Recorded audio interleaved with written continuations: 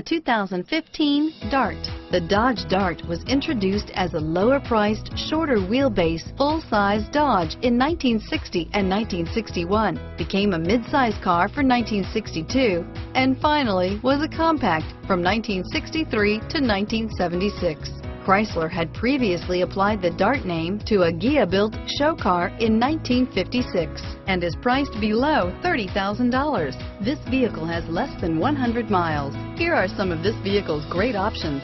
Traction control, dual airbags, power steering, alloy wheels, air conditioning, front, four-wheel disc brakes, universal garage door opener, heated front seats, fog lights, electronic stability control, power windows, trip computer, heated steering wheel, security system, compass, rear window defroster, brake assist, tachometer, overhead console, remote keyless entry.